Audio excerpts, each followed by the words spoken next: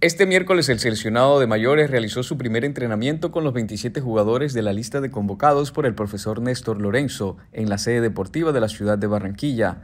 Previo al entrenamiento, el estratega argentino y el guajiro Luis Díaz atendieron a los medios de comunicación. El proceso continúa, sabemos que, el objetivo es el Mundial.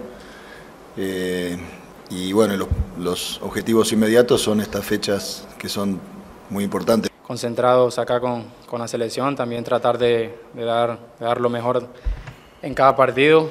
Eh, sabemos un, rival que nos va a tocar que es muy duro porque eh, ya nos conocemos, ya nos hemos enfrentado y bueno, tenemos que contrarrestar lo que ellos vayan a hacer.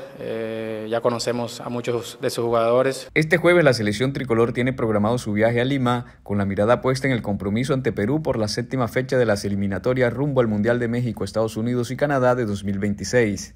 El partido será este viernes a partir de las 8 y 30 de la noche en el Estadio Nacional de Lima.